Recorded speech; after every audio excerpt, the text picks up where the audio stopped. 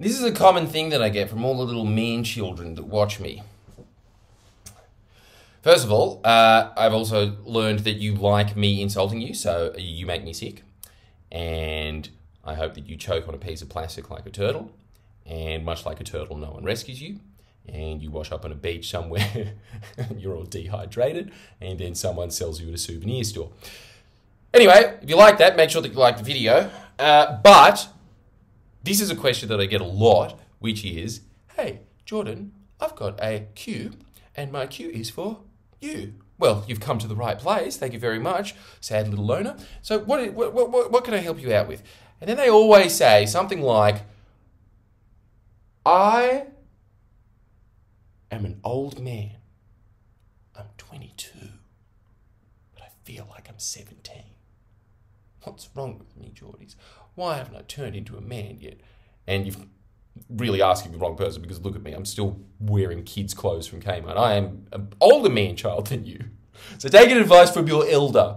Yeah? These are kind of like those neckbeards that are on Reddit that are like, you've got no idea. I've been here for 10 years and I've seen the entire landscape change. I am a king of wasting my life. So, my advice to you,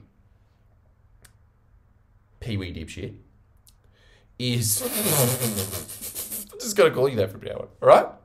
Yeah, yeah, yeah. I'm talking to you specifically. I know who you are. Just don't ask me to name your name or your date of birth or anything about you at all. I'm talking directly to you, though. Uh, I want you to know that that is a result of modernity. This is one of these things where I will say that it actually isn't your fault. That effect of kind of missing these marks there is a reason that in all ancient to medieval to actually just culture right up until the 50s, I guess, always had as part of their culture these sort of initiation moments into being a man. And same thing with a woman. Uh, but I'm just going to focus on this because there's a lot of man babies that contact me, right? And so the man babies, what you will be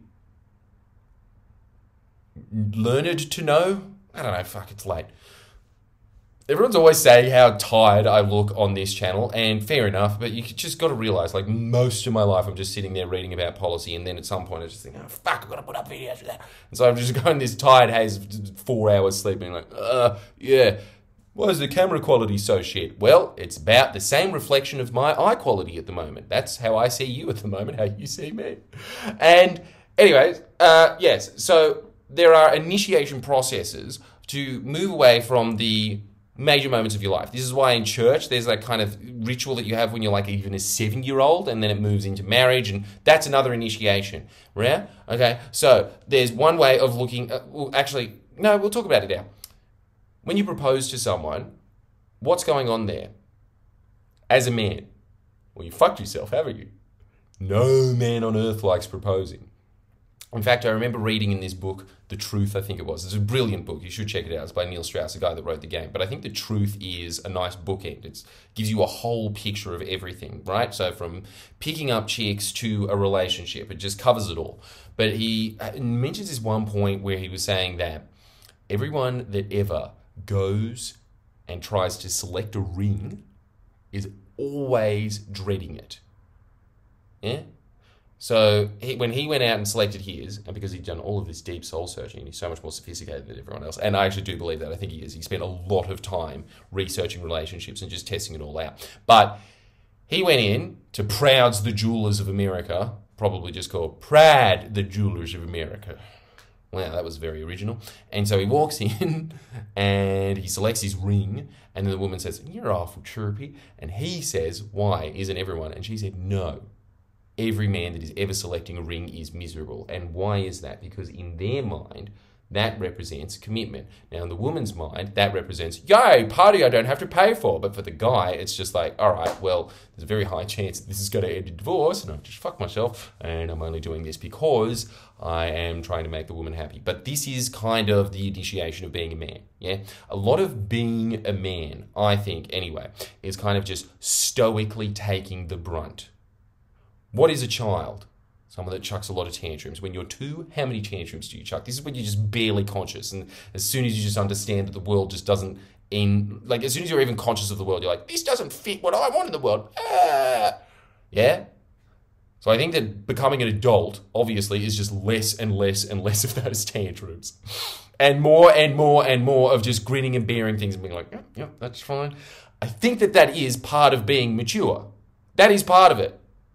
And so I think that that is one of the symbols of a wedding for a man. It's kind of just like this idea of, yes, the commitment is there of like, and because it goes back to family connection days, it's also this thing of I am going to marry into this land and we're going to put this land together and I'm going to better my family. There was a lot riding on it.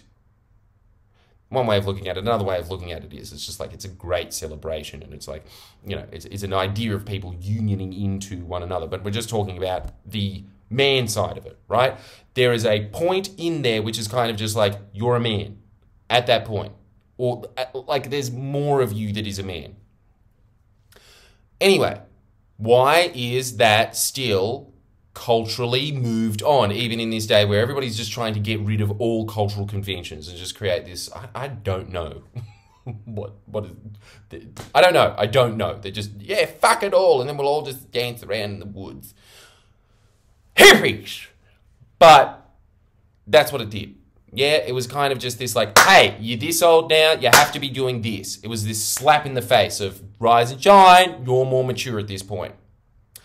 When it comes to that 18 year old initiation phase, this is what a lot of 18 year olds face, including myself. And then I read it in this book, and I can't even remember what the culture was now, but I'm assuming that it was, I'm pretty sure it was Nords. Ancient Nords from back in the day, they used to do this thing where guys, 18 year old boys, would just be in longhouses and there would be embers in the center of the longhouse and they would be sleeping on the sides and it would just be a bunch of 18 year old boys 18 to 20 i think so you could stay in there for a couple of years if you wanted to and you'd just be lying down on a bunch of uh, bear rugs in medieval europe so it would have just been so appealing obviously because it just would have been cold as shit outside and you were always fed there was always water coming in, and you kind of just sat there as a stroppy teenager at the end of your teenage years doing nothing.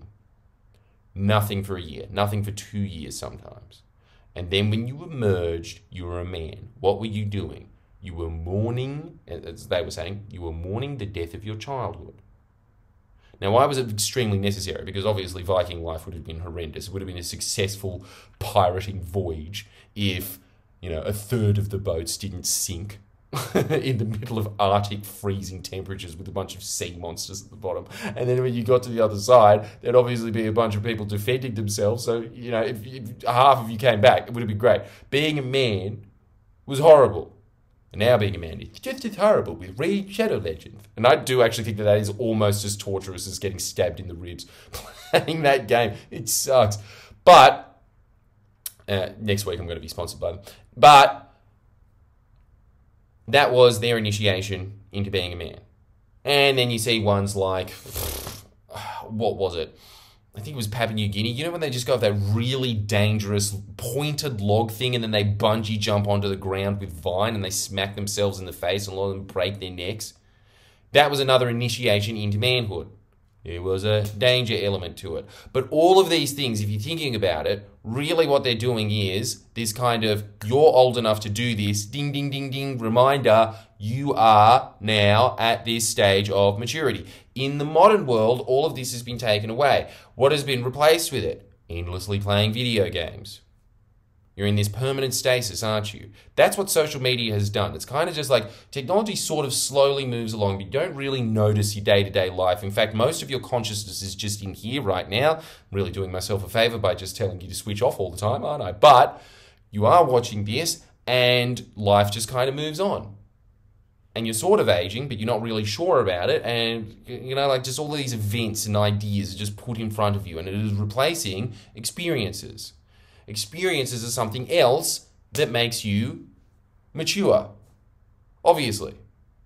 So, going back to the wedding thing, even if your wedding ends in a divorce, obviously that can make you an extremely bitter human being if you look at it that way. If you don't look at it that way, what's happened in that? You've experienced a roller coaster of emotions. You've committed, first off, that's awesome. But the second thing is that what you've also done, and this is truly amazing, is once that that happens, like, can you imagine the heartache and the the stress of that?